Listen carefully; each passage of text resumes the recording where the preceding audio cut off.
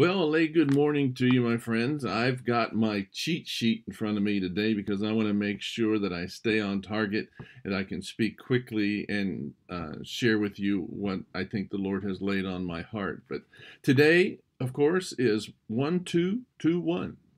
1221. And that's kind of poetic for numbers oriented people, but for the rest of us, it simply means that today is the second day of the new year 2021.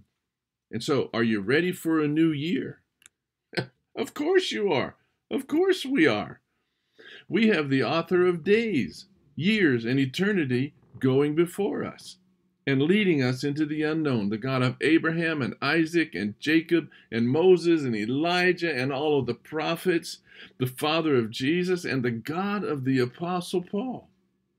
He is our creator and defender, our light and our salvation, so, as David asked in the Psalms, whom shall we fear? That, my friends, is what they call a rhetorical question. And I have another question for you.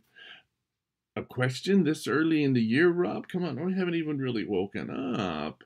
Well, yes, sir, and yes, ma'am. Here's my question Have you made a plan for getting into the Word of God so that the Word of God can get into you? You know, we make arrangements for eating physically, well, have you made arrangements for spiritual nutrition?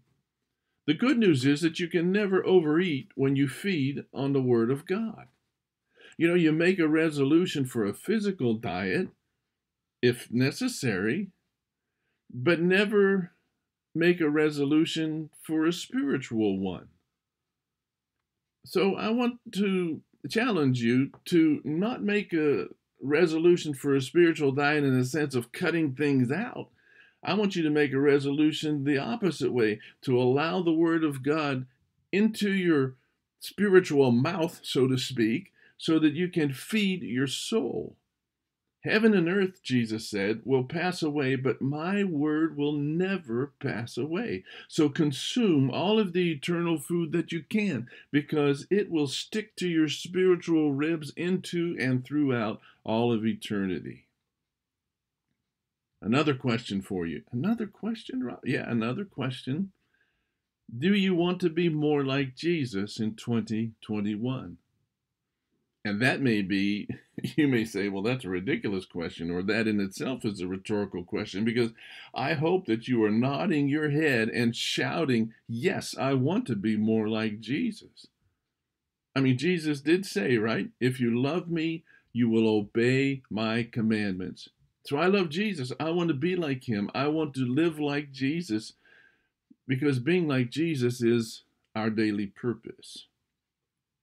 Well, here's the truth you cannot obey Jesus until you know how Jesus thought and until you know how Jesus lived. And you cannot know how Jesus thought and lived without learning from the Word of God. If you want to be more like Jesus, if you want to obey Jesus, then you must become a Bible learner. And that, by the way, is what the Bible calls being a disciple of Jesus, learning from the Word so that I can live and act like Jesus. I hope that you will find at least a good devotional to use for this year. But don't merely read devotional thoughts that someone else wrote about the Bible. Don't just read books about the book. Use a devotional plan that will lead you into the scripture itself.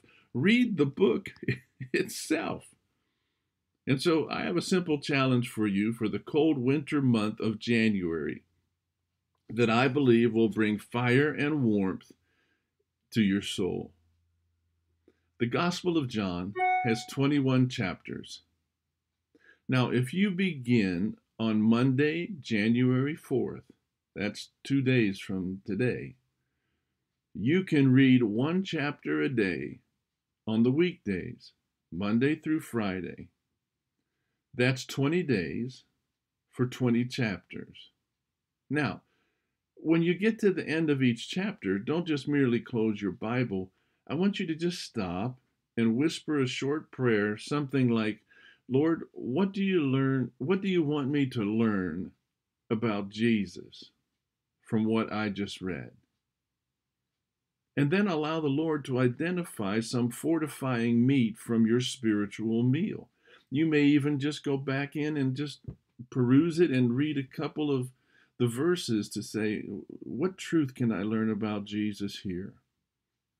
Now, depending on your reading ability and the chapter length, this should take no more than 20 minutes, 20 minutes out of your day to feed your soul.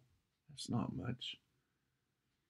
Now, on Sundays, you can hear the word preached either online or in person, so you don't have to read a chapter from the Gospel of John on Sundays, unless you're an overeater. then go ahead, eat all you want. You can never overeat.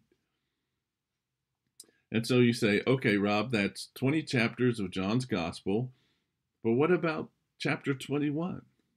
Well, it's simple enough. Either read the final chapter of John's Gospel when you read chapter 20, or you can read the final chapter four times by reading it once each Saturday. It, it, you know, be flexible. It's your spiritual meal, so just eat it whenever you choose. The important thing is to eat spiritual food, to get into the Word of God and allow the Word of God to get into you. And so I hope that you'll continue to eat from the Word throughout the year. Let the Holy Spirit strengthen your spirit each day as you journey with the Lord through 2021. Got it? Hope that wasn't too fast. God bless you.